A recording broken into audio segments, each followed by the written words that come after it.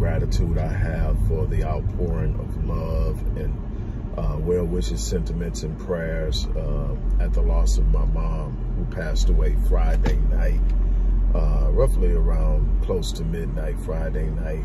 Uh, my mom was struggling with uh, dementia, uh, but ultimately succumbed to a cardiac arrest.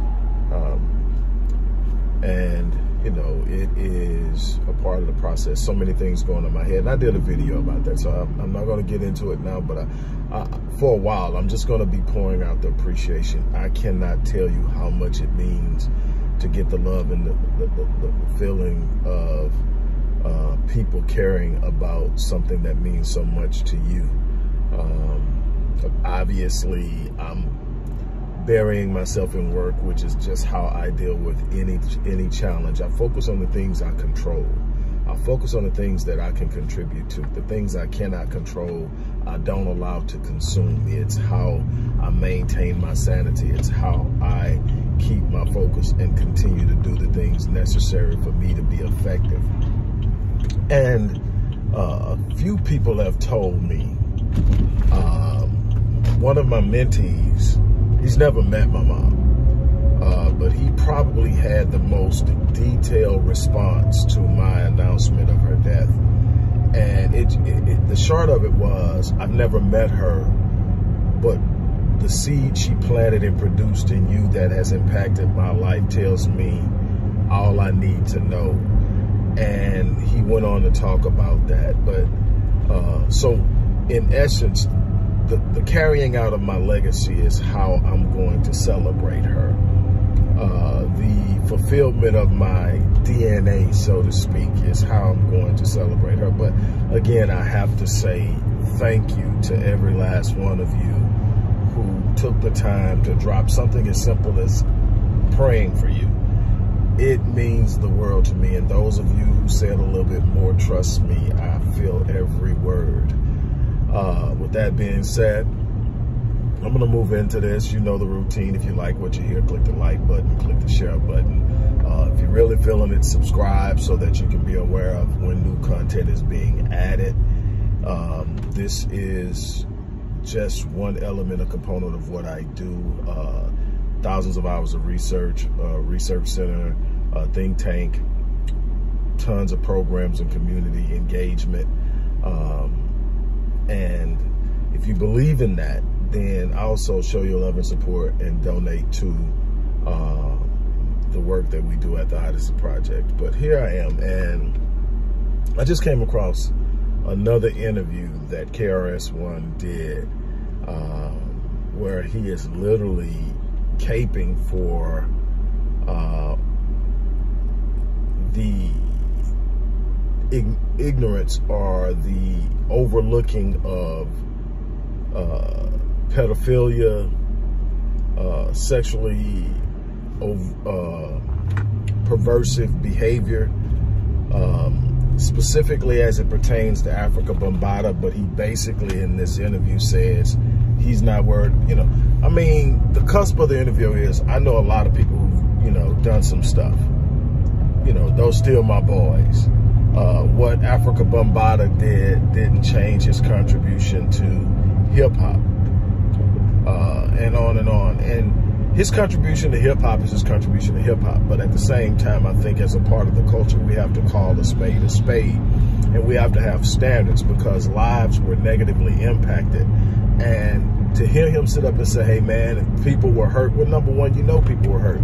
I don't. I mean, we're talking about dozens of people coming out and saying what this man has did with them. Everybody can't be making this story up, and everybody can't be lying about this situation. Uh, and the, the thing is, the guy tried to clean it up for him because he kept saying, "Well, you know, that's if it's true," I, and he and he would follow it up with you know, whether it's true or not, which tells me he knows more about it because he keeps coming back to it. And instead of taking the out on his his his problem with the whole thing is that he doesn't believe it's true. He comes back and says whether it's true or not. So then it tells me you know that it is.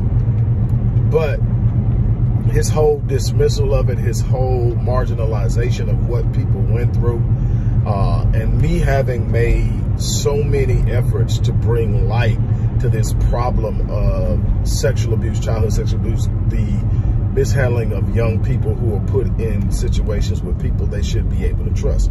The, these are boys, predominantly boys, th that are men now that have come forth and said that they were molested by this man. And the call of one of the most prevalent names in hip hop, KRS-One, nobody is going to argue his contribution uh, when lacing tracks. Nobody's going to be able to argue his contributions at the time that he hit and the impact he had on the growth and exposure and expansion of hip hop, especially in the rap component of that. Nobody's going to argue that. But when you sit down and you sit and instead of saying this is not the kind of behavior we want to be uh, expressive of the culture of hip hop, then you are basically diminishing the true meaning of it and its birthing, which was birthed out of a need to have something to fill the void of the dissipation of the Black Panther Party, the Black Nationalist Party, and other movements that were galvanized and then uh, ultimately inter um, uh, intercepted, so to speak, by COINTELPRO, the FBI's program to infiltrate and dismantle uh, black unity movements. And so it was a black unity affair. It was a growth affair. You can't have growth and healing in such a toxic environment. So, so much was lost that we'll never know because of that. And nobody's looking at it that way. Everybody's looking at, well, hey, this guy, you know, along with Herc and a few others are literally the basically the founding fathers of hop. That doesn't change anything. But we must acknowledge that a part of his imperfection was something that was chaotic and toxic at a level that it destroyed lives. And I think that one of the things I've been pointing to childhood sexual abuse and incest forever. It's in multiple books. It's in lectures. I talk about it all the time. It's one of the things I talk about when I talk about adverse childhood experiences uh, and epigenetics. But I think when we talk about it, we automatically move to the idea of young black girls. But what, what we don't realize.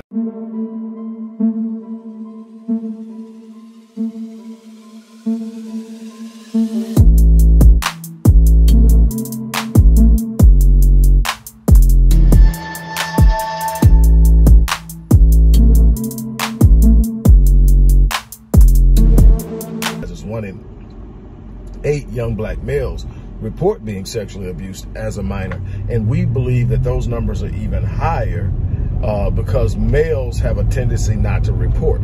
So it's highly underreported, which means that it's a lot worse than one in eight, which is bad. Uh, we know for a fact that on the conservative side, we're talking about almost half of our women. And on the liberal side, 60% of our women have been sexually abused. I've got uh, clients that are in their mid to late 60s that I'm still dealing with that are still trying to overcome childhood sexual abuse and incest. And it's still an issue within the black community and males. I have young males and older males that I deal with that this is an issue with. And then we have a person like this who is basically saying, you know, whatever and he still has a strong influence within that culture, within that community. And this is what he's doing, man. I call foul, I call BS, I call trash. I am very, very, I mean, the level of respect when he first did this, this isn't new. He's been doing this since the stuff came out. But obviously when he sits down, because it's such a polarizing position, people ask him about it. And every time that he's asked about it, it's an opportunity to say, I've rethunk it, I look at it, And after, you know, and I get it. You know this cat. This cat has made a, had a mass impact on a culture that embraces you. And you're thinking it from that perspective. My thing is that if I were to find out there's nobody in the history of my life that I hold a higher regard for as a black male than my great grandfather, the man who reared me. Uh, my grandmother's parents reared me, and the man who adopted and reared me as his own son. Literally, uh, I mean, from from nine months on. Uh, if I were to find out that he had molested somebody,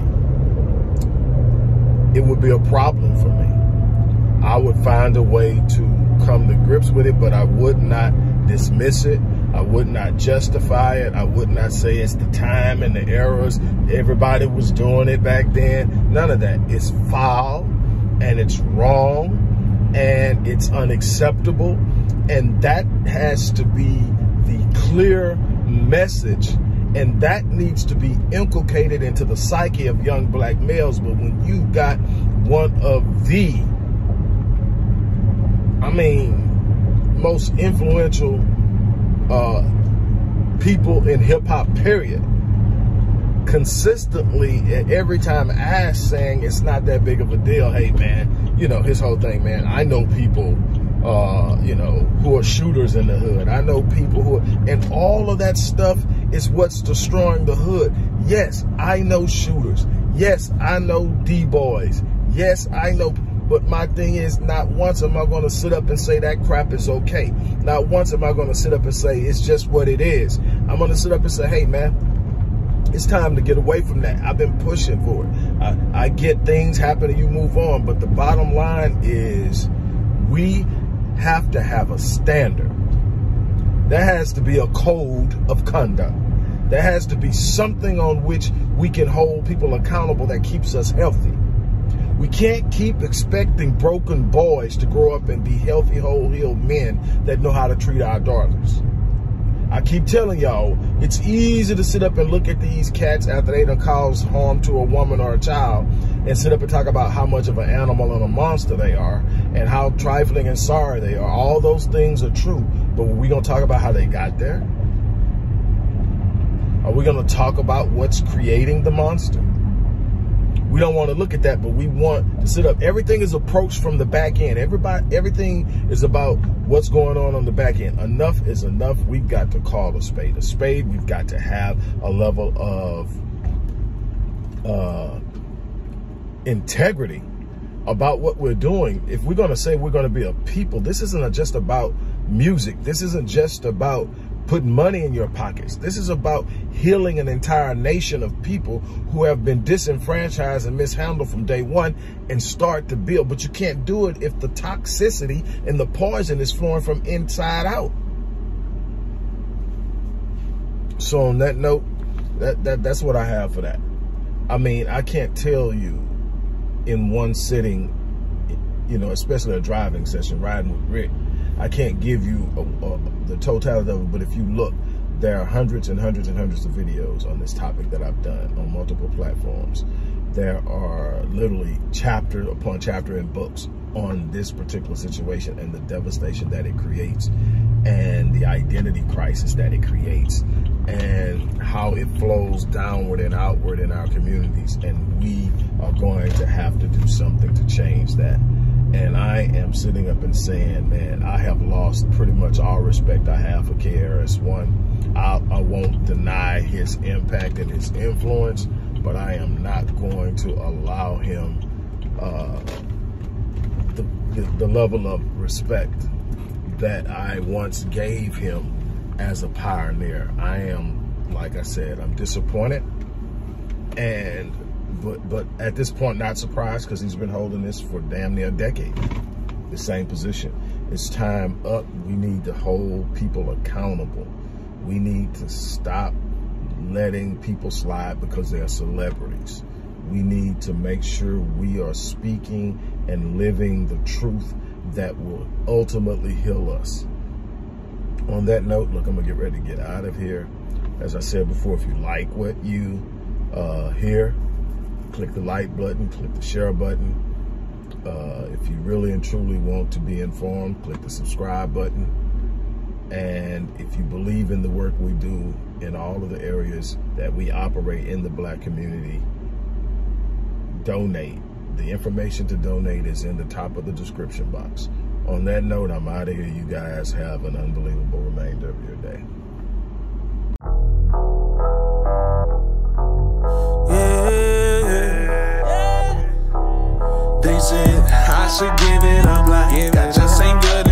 Hello, everybody. Dr. Rick Wallace here, dropping in with a little special announcement for those who have followed me for any stretch of time. You know, outside of the businesses that I run, like Myriad Business Solutions, the Visionetics Institute, Odyssey Media Group, I also do a great deal of work inside of the inner city communities uh, in Houston, Dallas, and other areas.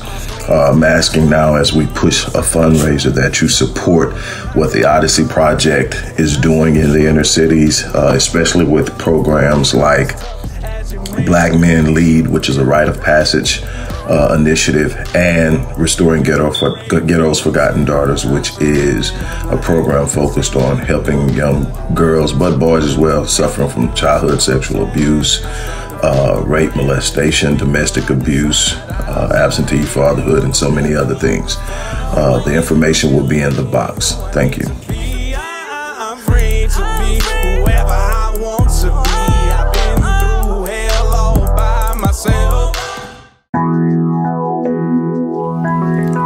Hello, everybody. It's Dr. Rick dropping here. Hope that everybody is doing okay. Uh, look, I'm not going to be long. I'm here to talk to you uh, straightforward. Look, the easiest thing to do is to complain, to complain about what others, what others are doing to us individually and collectively, to complain about what's not right, to complain about what should be going on. Uh, that's the easy thing. The hard thing to do is to take action, to do something to change the things that we are not satisfied with. For my entire adult life, I have spent uh, energy, effort, and time and money into gaining an understanding of the things we go through, the things we face, the uh, mechanisms and machinations, and, and, and all of the things that are working against us, and what we can do to change that.